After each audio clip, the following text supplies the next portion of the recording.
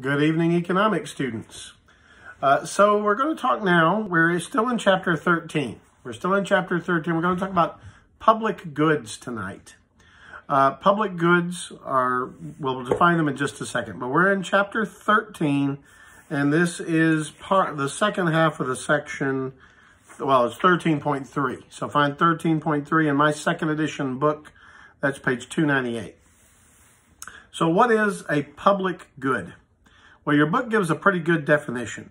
Public goods have two defining characteristics. They are non-excludable and non-rivalrous. Now, what non-excludable means is they're goods that it's virtually impossible to cut somebody out of. Um, for example, national defense is a public good if you are a person living inside the United States, you get the benefits of living under the umbrella of protection that our national military provides for us. It's non-excludable in that if you're living in this country, you're going to get the benefit of being protected by our military, whether you like it or not. You might thoroughly dislike the military, but it doesn't change the fact that if you're inside the country, you're being protected by from forces outside the country attacking you by our military. So it's non-excludable because there's really no way to cut anybody out of it. If it's a public good, it's either impossible to cut somebody out, like in national defense, or extremely difficult. Um, I, I can't even think of an example where, what would be an example of something that would be extremely difficult are very costly to cut someone out of. Well, okay, I guess uh, you could put somebody on a piece of land and build a 150 foot, 10 mile wide cement barrier around them, and that would protect them from things outside, and they never have to worry about being protected by our military again. But you know, that's just kind of craziness. Non-excludable essentially means it's impossible to deprive someone of the good if they're part of the class that the good protects, citizens of the United States in that case. Um, the other element of a public good is it's non-rivalrous. Um, now, a private good. Let's think about a private good. A private good is excludable. If I buy a medium pizza and it is my pizza, I bought it, I have the perfect right to say none of the rest of you people can have any of my pizza. It's my pizza, and I'm eating the whole thing by myself. No one else on earth has a right to eat any of my pizza. It's private property. It is a private good, that pizza. Um, so that is a totally private good, totally excludable. I can say nobody else has a right to this. It's mine.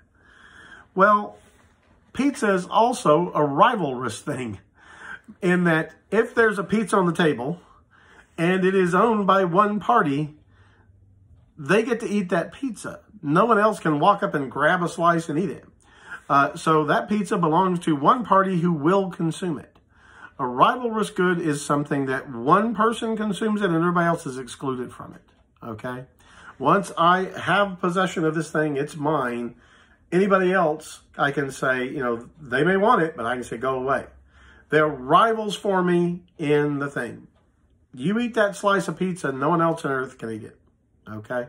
Uh, there might be a million people who want to eat it, but only one gets to eat it. So there are a million rivals, one wins. okay?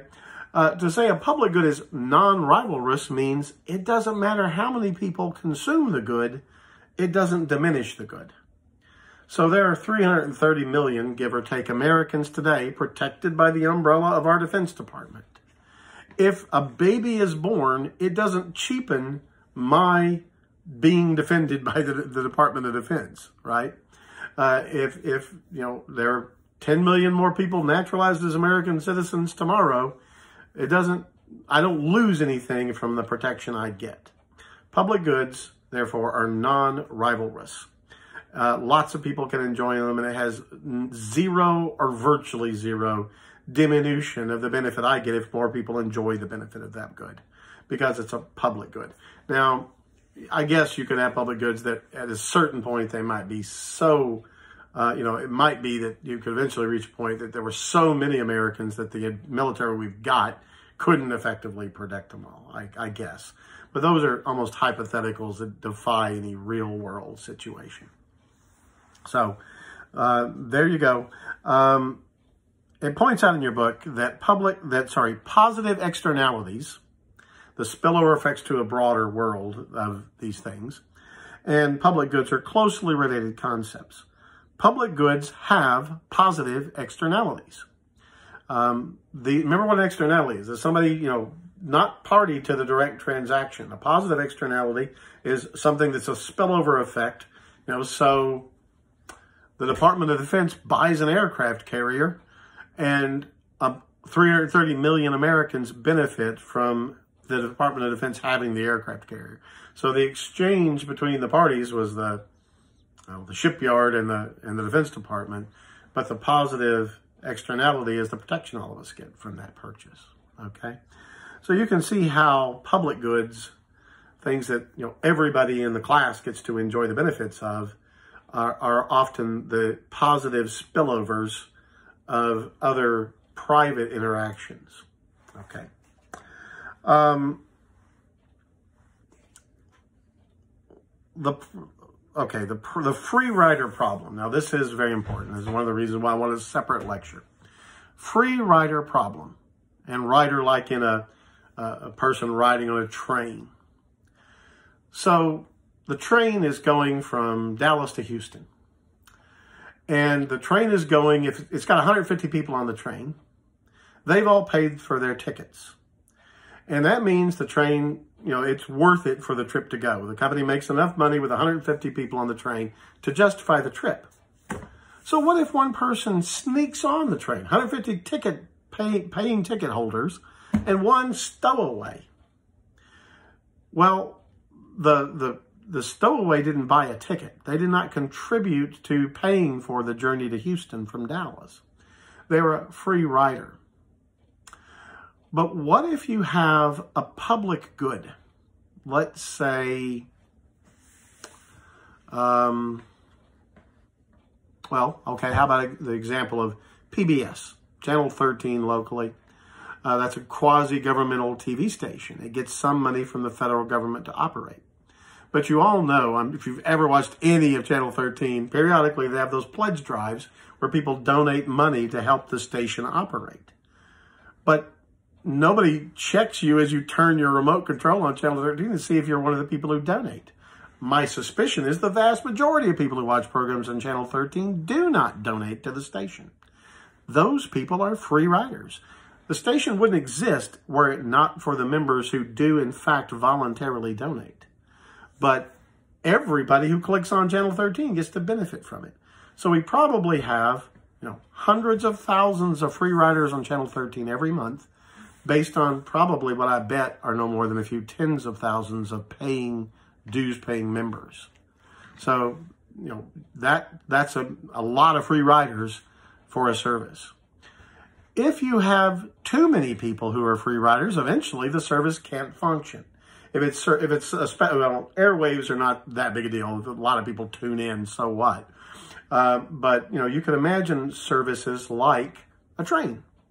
Um, you know, if there was a operated by the the transit authority, like the the light rail in Dallas, Dart Light Rail in Dallas. If all of a sudden 75% of the people on that train were cheating by not buying tickets, eventually they that would probably drive the thing out of business, right? Too many free riders they're trying, they're providing all the services to these people, but they're not paying for it. So the free rider problem is a big one in public goods. Uh, you got to find some way to get virtually everybody who uses the service to kick in for it. Now, obviously, the main way to do that is taxes.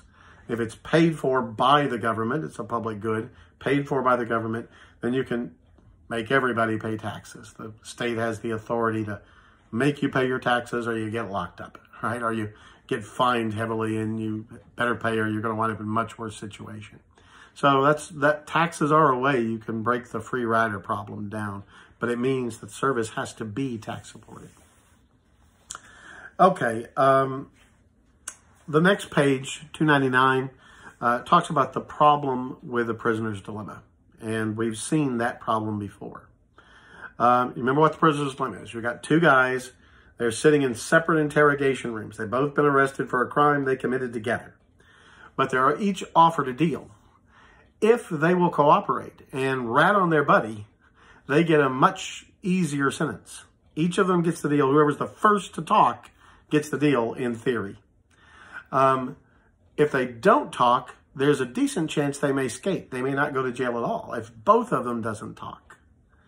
But if they if they're the uncooperative witness, they could spend a much longer time in jail. So personally, they have an incentive to rat on the other guy. But if they both kept their mouth shut, they'd both benefit over the odds of being punished severely. So that's the prisoner's dilemma. But remember what it is, and it points out out of your book. The difficulty with the prisoner's dilemma arises as each person thinks through his or her strategic choice. Step one, Rachel reasons in this way. If Samuel does not contribute, then I would be a fool to contribute. So they're talking about if, if you if you pay for, you know, PBS on the TV. If I pay for PBS on the TV and Samuel doesn't pay for PBS, I'm the one who's losing out here. He gets a free ride, right? However, if Samuel does contribute, then I can come out ahead by not contributing. So if I pay my dues and Samuel doesn't, I'm kind of an idiot for paying for the service financially, just in pure money terms. If he pays his dude, dues, I could still get the benefit of the service without paying for it. But then step two, either way, I should choose not to contribute and instead hope that I can be a free rider who uses the public good paid for by Samuel. If she doesn't pay, she saves the money she didn't pay. And as at least a 50-50, whatever she thinks the odds are Samuel will actually pay, the service may continue and she pays absolutely nothing for it. But what if Samuel reasons the same way and they both decide not to pay? Nobody pays for the service and the service is never provided. So that's the problem with the prisoner's dilemma. It makes sense for each person to take advantage of it individually, but if they both take advantage of it, poof, the public good is gone. All right, the government role in paying for public goods, uh, the last section there, um, they talk about the various ways that, you know, straight up tax and spend uh, is very common. It's a public good provided by the government, and uh, you know it's 100% paid for with taxpayer money. As there are plenty of examples of that, like the national defense. But you could also have an attempt to have it both ways. Have service something that's paid for largely by tax tax dollars, so everybody in this country, everybody in the state pays for. But you also have a user's fee if you choose to use this service, this public good, then you have to shell out some extra. It's a way of putting people's skin in the game, you might say, so that the taxpayer generally, you may never use the service, doesn't have to pay the whole thing out of their taxes. Think about state parks in Texas. If you want to go to state park, you got to pay a, pay a fee to go in. But those fees don't pay for the whole upkeep of the state park. They pay for a bit of it, a portion of it. Uh, tax dollars from every Texan pay probably the lion's share of every park in the states functioning. Uh, but if you're going to actually use it, you pay more. And that's a way of making the people who actually use the service uh, kick in more for it than those of us who never may see this park. So that, that might be more equitable. Finally, there are public goods that are prone to what's called the tragedy of the commons. These are public goods, things that everybody can make use of. They are goods that, so they're non-excludable. Um, but nobody in particular is responsible for paying for. So think about, for example, oh, codfish, uh, fish in the North Atlantic Sea. For hundreds of years, people thought of it as an inexhaustible resource and ships just went out and scooped up codfish by the millions every week. Uh, and, and they nearly destroyed the cod fishery in the North Atlantic entirely. They almost went extinct. It was in every fisherman's interest to go out there and scoop up as much fish as he could. But in the process, they were killing off the good. There was the only way to preserve the codfish was to make it excludable to have every country in the North Atlantic that has fishermen impose limits or even outright bans on their country's fishermen fishing for cod. So by making them an excludable good, uh, therefore no longer a public good, um, they saved the codfish from extinction, and now you can get permits to go fish part of the time. So um, the permits make it a partly non-rivalrous good as well, because only the people with the permits can go, but everybody with them gets their share. Anyhow, that's all for chapter 13. God bless. Good night.